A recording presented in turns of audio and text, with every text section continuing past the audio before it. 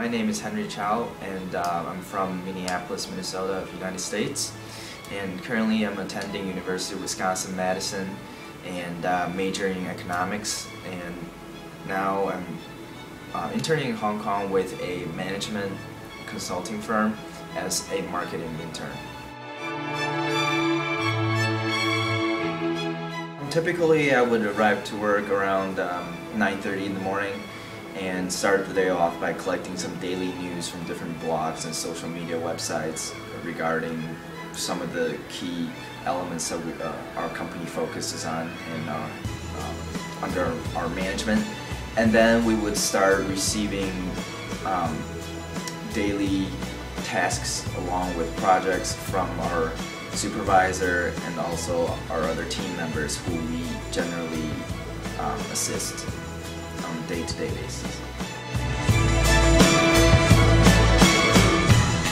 One of the examples of a task that, or a project that I worked on was in regards to the top 200 Weibo accounts.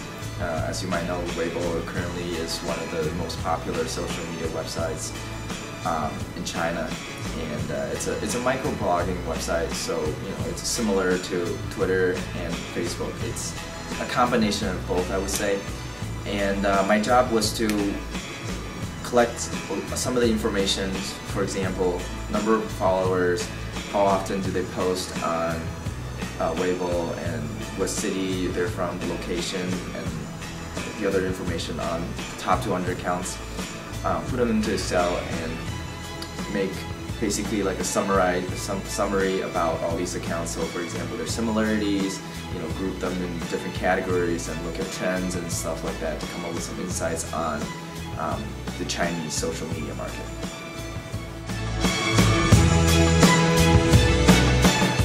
As I was telling you guys about my one of my daily tasks, the top 200 Weibo account research, um, after I've, I've finished that a week later, as the CEO and also along with my supervisor have um, looked through my project and reviewed it and given some compliments or given some feedback.